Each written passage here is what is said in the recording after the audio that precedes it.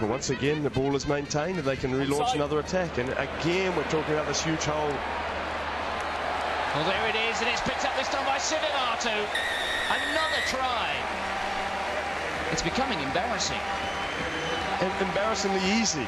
This is the big problem. Again, we, the defensive system they're employing, and we are seeing quite a few teams in Europe now using this.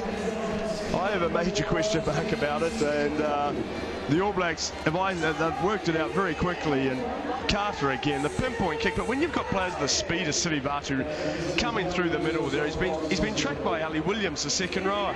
It, it, it, it is easy, isn't it? It really is easy. Brushes off the the attempted tackle, no problem whatsoever.